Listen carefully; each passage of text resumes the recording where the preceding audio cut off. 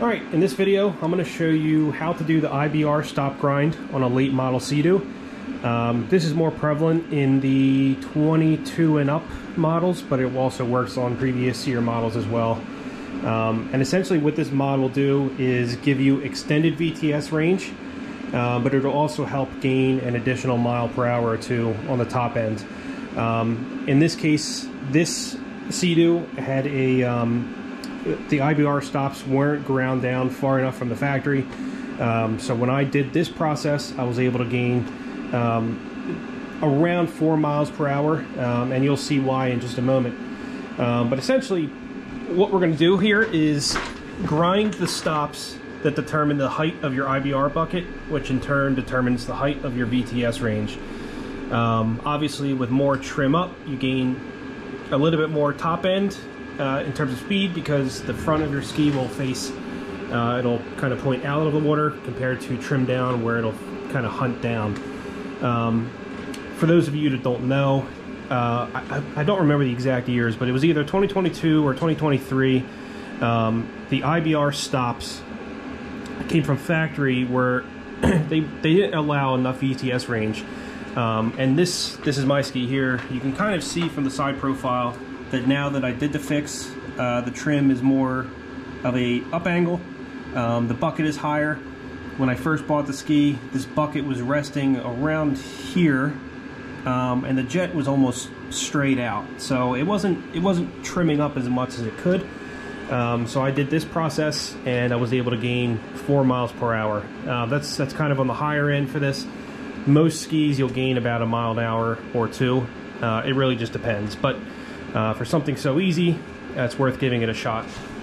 So in order to do this, all you'll need is a 10 millimeter socket, 13 millimeter socket, a metal file, and you will need some kind of software, uh, whether it's Buds, CanDo Pro, um, or the map tuner with the home service can also do it um, to do the IBR recalibration because essentially once you do what I'm about to show you, you'll need to recalibrate the IBR so that it knows where the new range is. Um, if you don't have diagnostic software, you can bring it to a dealer and they will do it for you. Um, or you can use any, uh, there's a couple services where they'll send out a like a rental unit to you, they'll perform the service, and then you can send it back. Um, so it really just depends. But let's get started and I'll show you what this is all about. All right, so the first thing we need to do is put the bucket all the way down. So we're going to use the IBR override function. Um, it's very easy to use. All you need to do is hold the reverse all the way in, press the button to wake the ski up. I'm gonna wait for it here. And it's going to say it's in IBR override mode, press mode to confirm, just like that. And now we're going to hold the trim down button, just like that. And you'll hear the IBR. I'm not sure if you can hear that or not, but it is going down.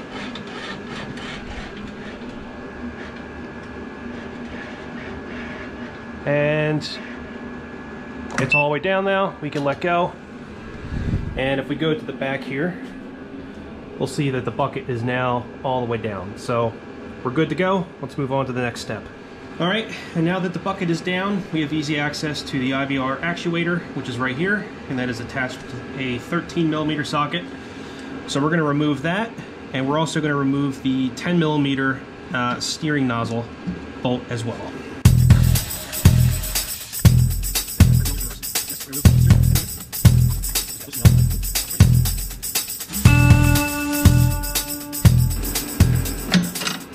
All right, now the steering is free. The next part is to remove the two 13 millimeters that are holding in the steering assembly.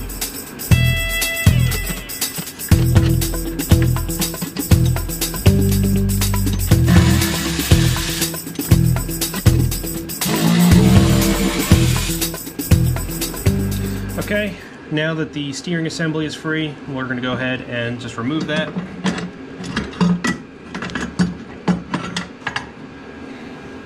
And now that the steering mechanism is out of the way, um, we're going to need to do the IBR override to bring the trim all the way up just to get the actuator out of the way uh, because when it's in the down position, uh, we're not going to be able to get the full height of this mechanism here.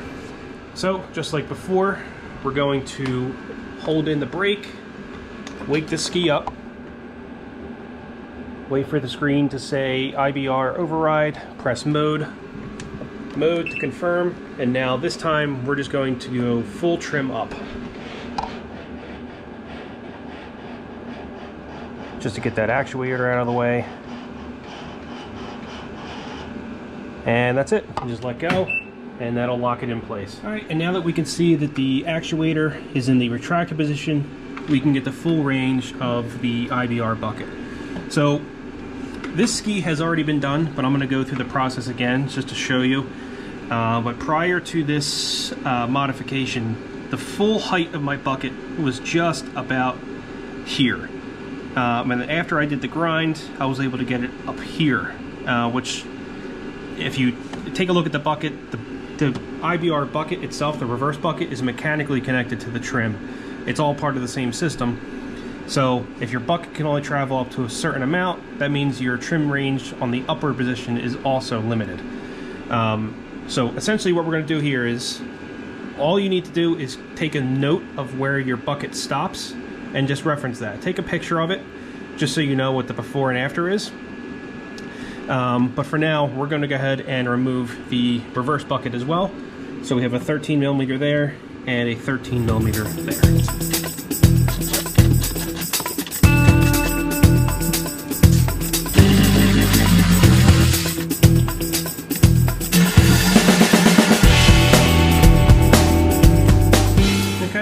Now that the bucket's removed, we can see where we need to get to.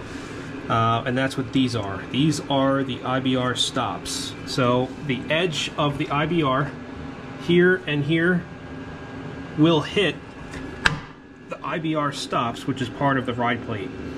Uh, so from the factory, they stick out just a little too far, uh, which limits the amount of range that the IBR bucket has. And a simple fix for that is to quite literally just take a metal file just like this and grind away at these stops. Um, now there's a trick to it, so I'm going to show you. I'll just grind a little bit. This is essentially what you're going to be doing on both sides, just like that, just like that. And you want to repeat this process until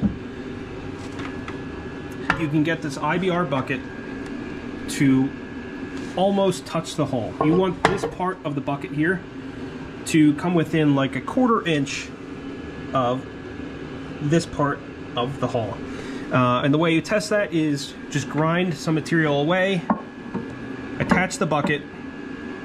Uh, you don't have to put anything else together, just put the bolts back in the bucket so you can see the range. Rotate it up, see how close it gets to the hole, and you want to try to get it within a quarter inch. Um, so it takes some trial and error. You're going to have to uh, attach the bucket, test the range, take it off, do some more filing, just like so put the bucket, bucket back on, and just get it as close to that hole as you can. You don't want it to touch, you just want to get it pretty close. Once you get it pretty close, then you can put the um, start putting the ski back together, which is what I'm going to do right now because I already did the grind on my ski. So I'll show you the next process, which is how you do the IBR recalibration for the ski to realize its new potential. All right, and just like we said, I'm going to go ahead and reattach the IBR bucket. Um, just make sure you're using Loctite when you put this stuff back on. Um, the last thing you want is for any of these bolts to come loose. Uh, just make sure you're using the removable Loctite, Loctite Blue or something, a different brand name. As long as it's removable, you'll be good to go.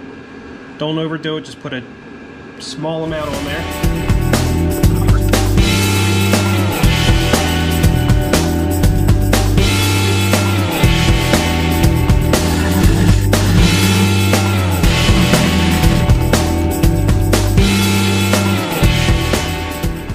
The next thing we're going to put on is the steering nozzle. I covered this in another video, but you want to make sure that this part is on top, your nozzle is facing outwards, and your rollers um, want to be top side. So just make sure you put it in that way.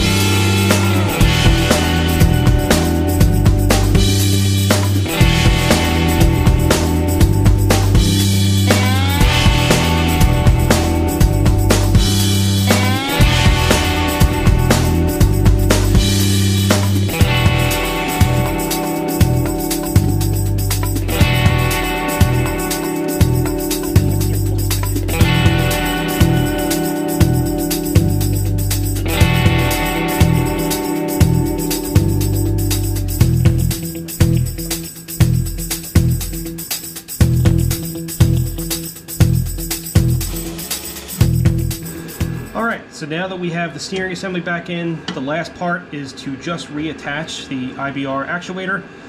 Um, with this, you can either put it back in with the trim all the way back up, or you can bring the arm back out doing the IBR override and attach it when it's down.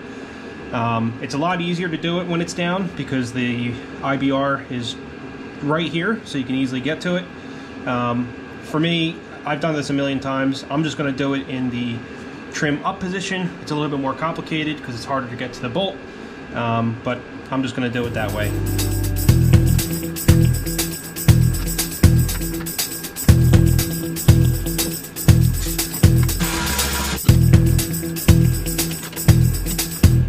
All right, so this next part, of course, will vary depending on which software you're using to do the recalibration, um, or if, if, you're even doing it yourself.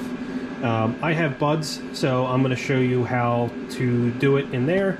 Um, if you have CanDo Pro, or if you're using the Riva Map Tuner uh, with the home service application, uh, it's pretty self-explanatory in those. Um, or if you're using an online service that will send you a module to use, they'll usually do it for you. Um, but in Buds, this is how you'll do it. So after you get your MPI connected to the vehicle and you load it up into Buds, um, you want to go to the functions page, auto calibrate IBR, and then just click run this is going to give you the process. It's going to say what the current degree angle is, what the motor angle is. You can manually actuate the IBR from here. Um, but we are just going to click on auto calibrate. Gate is attached, so we'll see what it does here. And you'll see it's basically going to try to find what trim down is and what trim up is. Um, and you'll see that this pretty much finishes it. That's it. That's pretty much all there is to it.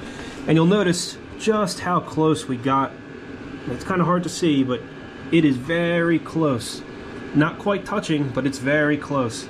Um, and like I said before, compared to what the range was before, which was uh, nowhere near as steep as that was, uh, it's significantly more trim up, which gives me better launching capability. Um, you know, if I want to do wheelies or whatever from wave jumping, uh, but more importantly, it gives me better top end speed.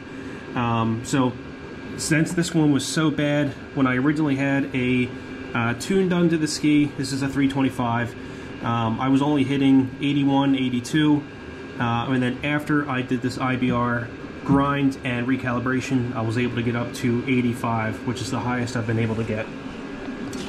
So, um, you'll see here, it never really tells you when it's finished, it just says, you know, after the motor stops, you're good to go. So we'll go ahead and close out of that. And that's pretty much it. That's all you need to do. Um, it's unfortunate that you know some software um, or you know you can't do an IBR recalibration without the software. Um, but you know those of you that are doing your own work you're most likely going to have the software that you need or it's at the very least you can rent one online and have uh, one of the uh, online techs send it out a module for you to use um, I can drop names if anybody needs any help uh, also, I'm located in southeast Pennsylvania, so if anybody needs to have this done in that area, uh, feel free to send me a message and uh, I can absolutely take care of you. Uh, but aside from that, that's pretty much it.